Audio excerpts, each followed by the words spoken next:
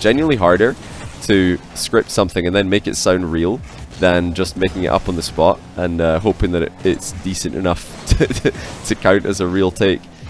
No, that's just my preference. I always appreciate the YouTube viewers coming coming by to say hi.